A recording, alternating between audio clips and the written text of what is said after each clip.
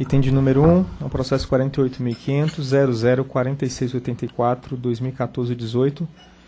Trata-se de um recurso administrativo interposto pela empresa de distribuição de energia Vale Paranapanema, em face do auto de infração número 1737 de 2008, lavrado pela Agência Reguladora de Saneamento do Estado de São Paulo, ARCESP, que aplicou penalidade de redução tarifária pelo não cumprimento das metas dos programas de universalização e luz para todos no período de 2004 a 2005. O diretor relator, José Jurosa Júnior, informa que por este item há um pedido de sustentação oral. A Arcesp fiscalizou a empresa de distribuição Vale do Paranapanema no período de 17 a 21 de março de 2008, com o objetivo de verificar o cumprimento das metas do Programa de Universalização e Luz para Todos, nos anos 2004 e 2005, visando subsidiar o processo de revisão tarifária no cálculo do índice do redutor tarifário, além de verificar os procedimentos de atendimento aos pedidos de fornecimento de energia elétrica no período. A fiscalização foi consubstanciada no relatório de fiscalização de número 3047, 2008, encaminhado à empresa como parte integrante do termo de notificação 1737-2008. E a EDVP manifestou-se em 16 de 7 de 2009. Em 10 de 9 de 2010, a Arces solicitou a manifestação do MME contra as delegações apresentadas por várias concessionárias, entre as quais a EDVP, referente ao não cumprimento das metas do programa dos Patudo. O MME manifestou-se em 8 de 10 de 2010. Em 1 de junho de 11, a Arces notificou a EDVP da aplicação da penalidade de redução tarifária, com base no exposto relatório e voto de redução tarifária de 6 de maio de, de 11. Em 15 de 6 de 11, a EDVP apresentou recurso administrativo solicitando o cancelamento da não conformidade 2 e o arquivamento do termo de notificação. Em 16 de 8 de 12, a Arcesso encaminhou por engano o processo a SRE para providências relativas à redução tarifária. Em 22 do, do 3 de 13, o processo foi encaminhado à SFE, que em 22 de 8 de 14, com o objetivo de corrigir o envio equivocado do processo, encaminhou o processo para sorteio e deliberação da diretoria. Se vocês observarem, ficou é, oito meses para descobrir que estava equivocado e mais um ano e pouco na outra área equivocado também. E aí foi encaminhado para sorteio e em 8 de 9 de 14 fui designado relator do processo, que em 14 do 10, por meio de minha assessoria, solicitei análise parecer da Procuradoria Federal, que recomendou a manifestação da SFE. Haja visto que a SFE tinha encaminhado para sorteio sem manifestação. Em 9 de 12 e 15, por meio da minha assessoria, solicitei a análise de parecer da SFE, que se manifestou em, 17, em 7 do 7 16.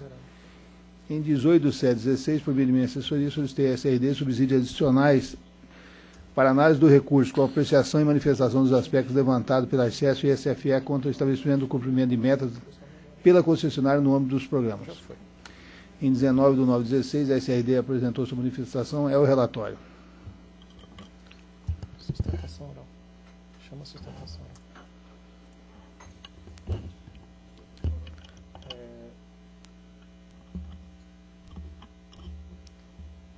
Convido o senhor Marco Antônio Melotti para fazer a sustentação oral, representante da empresa de distribuição de energia Vale do Paranapanema.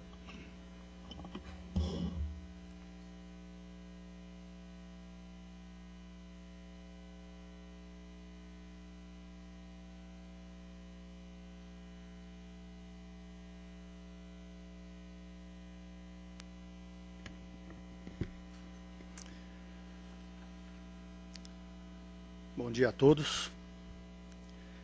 A Energisa Vale Paranapanema agradece à agência por propiciar este momento em que a distribuidora, de maneira objetiva e presencial, pôde se posicionar frente ao processo administrativo em questão. Discute-se a aplicação do redutor do nível tarifário em função do não cumprimento das metas da universalização e LPT no período de 2004-2005 a Arcesp, agência estadual, decidiu pela aplicação da penalidade na própria revisão tarifária por considerar que 338 pedidos de fornecimento não foram atendidos para uma meta ajustada de 3.412 ligações.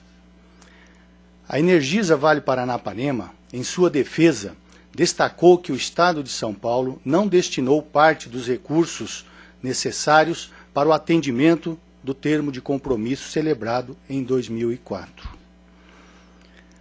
Além disso, a distribuidora demonstrou em suas manifestações ter havido um descompasso entre as metas anuais pactuadas e o cronograma de execução de obras do contrato firmado com a Eletrobras para atender o LPT.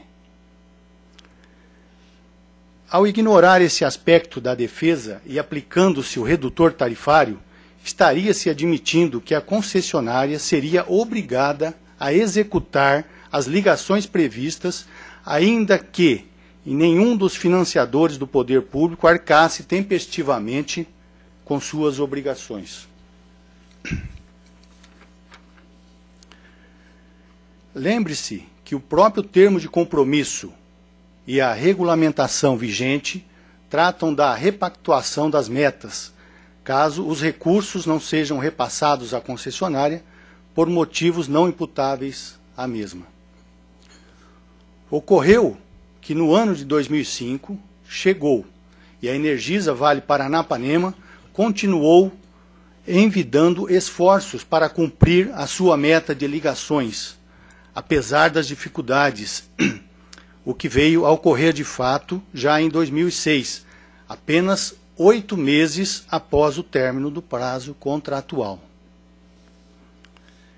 Considerando que está em audiência pública o aprimoramento da metodologia de verificação das metas dos planos de universalização, que é a P44 2016, e que entre os pontos de aperfeiçoamento está a previsão de atenuantes para distribuidoras que tenham regularizado o cumprimento das metas em até um ano e de atraso e antes da fiscalização realizada pela agência e que a Energisa Vale Paranapanema, embora tenha concluído a universalização e LPT com atraso, executou até agosto de 2006 todas as ligações previstas e, antes de qualquer ação fiscalizatória da ANEL, portanto, cumpriu as duas condicionantes merecedoras das providências atenuantes que o aprimoramento regulatório,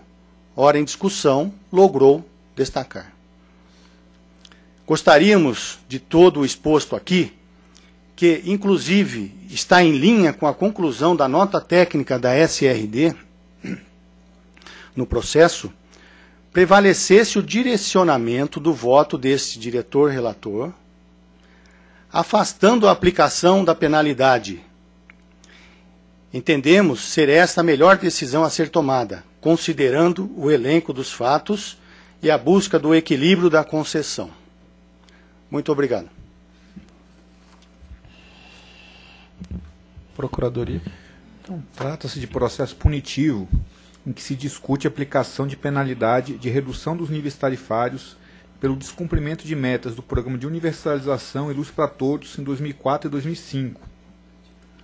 A agência estadual calculou a penalidade a partir de um total de 338 ligações não atendidas, para um total de 3.412 ligações previstas.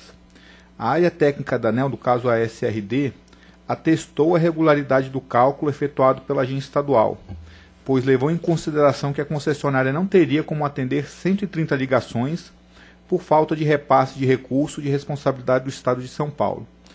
Assim, por considerar o não atendimento das metas, a Procuradoria opina pelo desprovimento do recurso, com a manutenção da penalidade de redução dos níveis tarifários, tal como calculada pela agência estadual. É, a Arcesp apurou a fiscalização, a fiscalização que 565 pedidos de ligação não foram realizados para uma meta de 3.542 pedidos de fornecimento previstos nos programas anuais, conforme essa tabela abaixo. Né? Então, é, e em sua manifestação, a DVP alega que o termo assinado em 28 de agosto de, de junho, desculpe, em 2004 entre DVP, Ministério de Energia, ANEL, Eletrobras e Governo do Estado de São Paulo, previu o atendimento de 1.100 novas ligações no meio rural, por intermédio do programa Luz para Todos, sendo 268 ligações em 2004 e 832 em 2005. Acrescentou ainda que o termo previa que as ligações seriam efetuadas mediante liberação de recursos oriundos dos seguintes fontes: MME Eletrobras 75%, 10% do Estado e 15% da empresa. Alegou também que o termo estabeleceu o seguinte condicionando: caso os recursos provenientes do MME, Eletrobras ou Estado não sejam repassados ao agente executor por motivo não imputável ao mesmo, as metas pactuadas acima deverão ser revistas.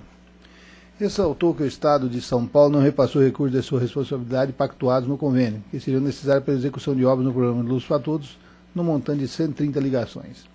Sendo assim, solicitou que essas ligações foram desconsideradas das metas da universalização da EVP nos anos 2004 e 2005. E essa demanda foi posteriormente atendida pela DVP através do plano de universalização no ano 2006. Concluindo, a a EDVP solicitou o abatimento de 362 ligações de suas metas nos anos de 2004 e 2005.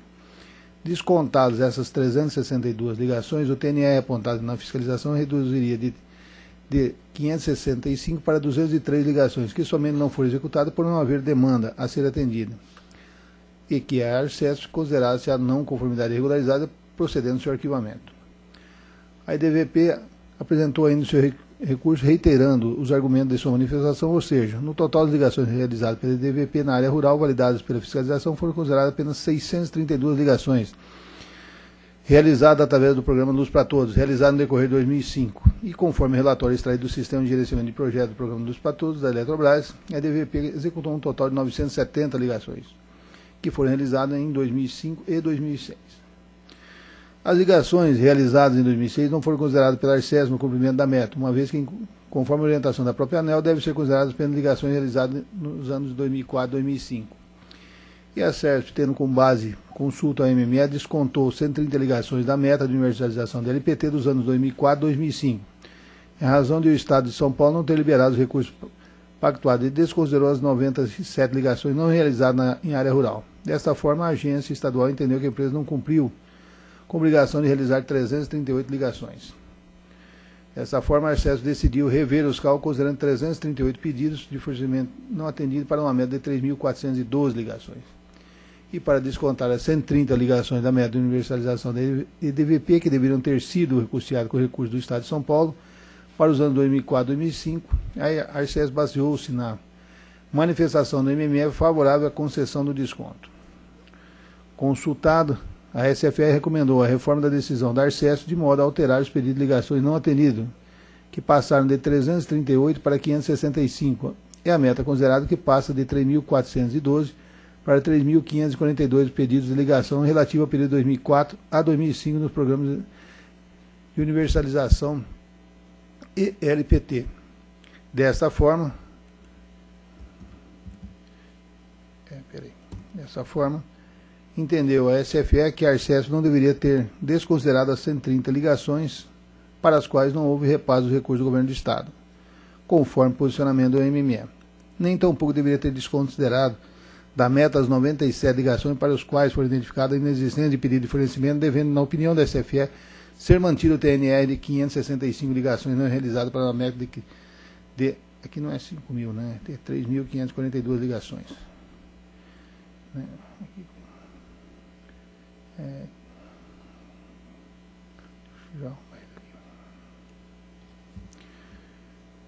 Quanto à análise da SRD, inicialmente destacou que a sistemática de acompanhamento, fiscalização e aplicação de penalidade pelo não cumprimento das metas de universalização está disciplinado na Lei 10438 de 2002, que estabeleceu a competência da ANEL de verificar o cumprimento das metas de universalização regulamentadas na Resolução 223 e na Resolução Normativa 238.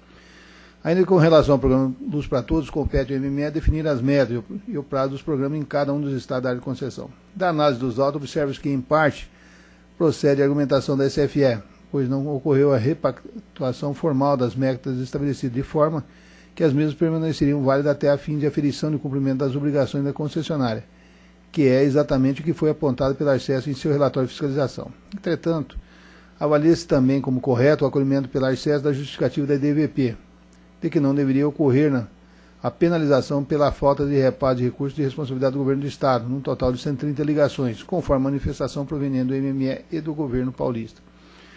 Desta forma, entende-se que a manifestação do MME não altera as metas do termo de compromisso, que de fato foram descumpridas, mas reconhece a existência de uma excludente de responsabilidade em relação à IDVP que deve ser considerada. Não fosse assim, estaria se admitindo que a concessionária seria obrigada a executar as ligações previstas no termo de compromisso, ainda que nenhum dos financiadores do poder público arcasse com suas obrigações.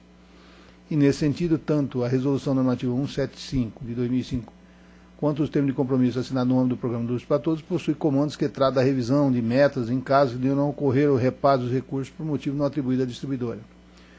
Observa-se que tais possibilidades de redução não definem a forma e o momento em que as metas devem ser revistas no caso de ausência dos repasses de recursos, de modo que o processo de fiscalização, em muitos dos casos, constitui-se a última possibilidade da distribuidora ter o seu direito reconhecido pela desconsideração proporcional das metas em relação ao recurso não repassado. Ressalta-se que os problemas decorrendo da falta de repasse dos recursos do governo do Estado de São Paulo também afetaram outras distribuidoras, tendo sido motivo para acolhimento parcial das justificativas pelo descumprimento de metas do plano de universalização, por exemplo, nos processos referentes à CPFL Santa Cruz, Leste Paulista e Sul Paulista. Também se avalia como correta a desconsideração feita pela Arces de 97 ligações não realizadas na área rural em função da inexistência de pedido de fornecimento não atendido, pois não há que se penalizar a distribuidora por essa situação atípica. Do exposto, a SRD opinou pela possibilidade de manutenção da análise feita pela Arcesp, com o cálculo da TNE considerando 338 ligações não efetuadas nos anos 2004 e 2005 pela DVP, para uma meta ajustada de 3.412 ligações. Entretanto, alternativamente, a critério de diretoria, é, a SRD propõe que seja considerado o resultado da P4416. E o que diz essa AP?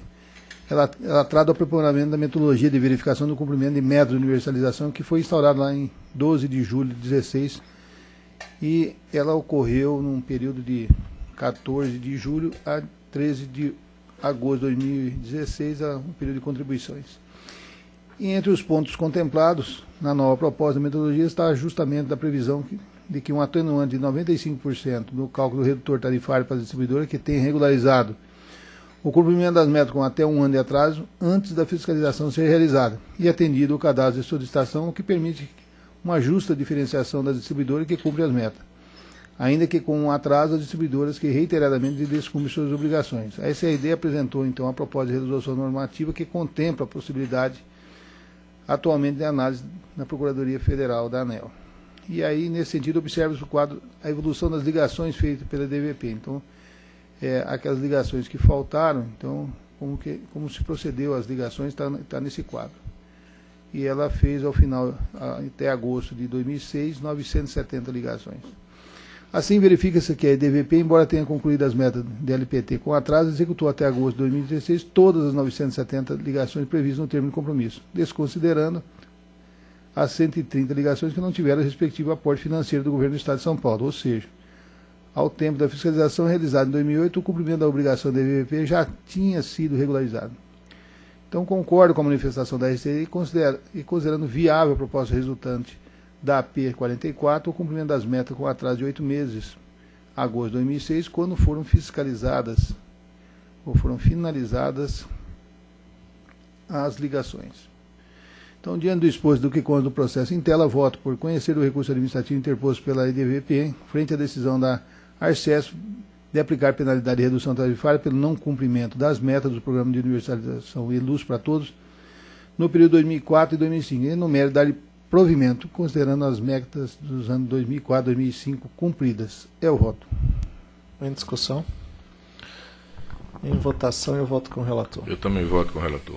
Proclamo que a diretoria colegiada da ANEL decidiu, por conhecer do recurso administrativo interposto pela empresa de distribuição de energia válida Paranapanema SA, frente à decisão da Agência Reguladora de Saneamento e Energia do Estado de São Paulo, a CESP, de aplicar penalidade de redução tarifária pelo não cumprimento das metas dos programas de universalização e luz para todos no período de 2004 2005 e no mérito dar provimento considerando as metas dos anos 2004 2005 cumpridas. Solicito que o secretário chame o próximo item de pauta.